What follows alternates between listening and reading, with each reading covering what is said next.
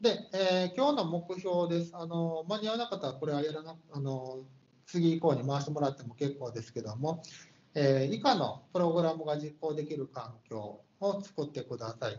これが最初に言ったね、グラフィックですね、えー、画像ファイルを画面に表示するってやつなんですけども、えー、TK 使ってます。で TK のインストールがうまくいってないとこれができないので、えーどこら辺かな？かあの3章で出てくる文なんですけども、その時に苦労する羽目になります。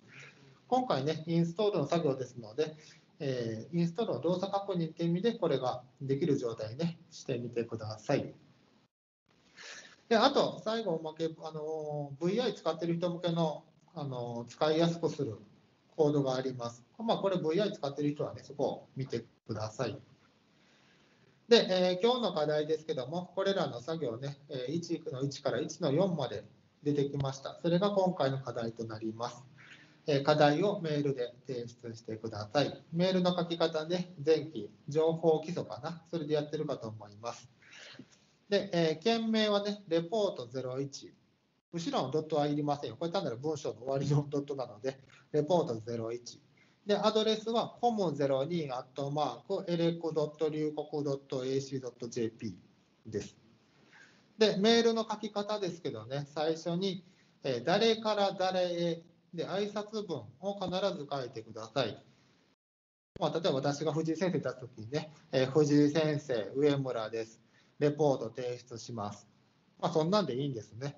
えー、メールを使う上でもマナーです。そういう、この3つの、まあ、それぞれ簡単なんでいいので書くということをしてください。でメールの最後にね、署名を入れるのを忘れないようにしてください。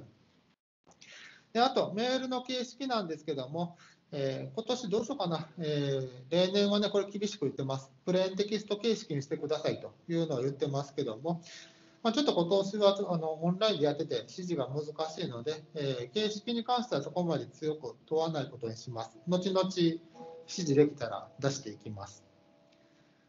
はい。というのが今日の課題です。で、え、レポートは来週水曜日終わるまでに出してくれればそれで結構です。というかね、あと、あの授業の感想ですね、えー、さっきも言いました、こうしてくれた方が嬉しいよなんていうのあれば、ぜひぜひそこに書いていってください。もしくは逆にね、分かりやすかったですとかね、えー、聞き取りやすかったです。そんなんないかな。あのあるとすごい嬉しいですね。えー、そういうフィードバックあれば、ぜひぜひ出していってください。はい、では、えーと、時間になりました。裏でね、学校のチャイム鳴っています。聞こえるかな？聞こえてくれたら嬉しいんですけどね、えー、榴弾チャイムちょっと特殊です。これをね、ぜひ皆さんと聞けるようになればなと思います。はい。では、えー、今日のね、え、計算機実習2の1回目の講義はこれで終わります。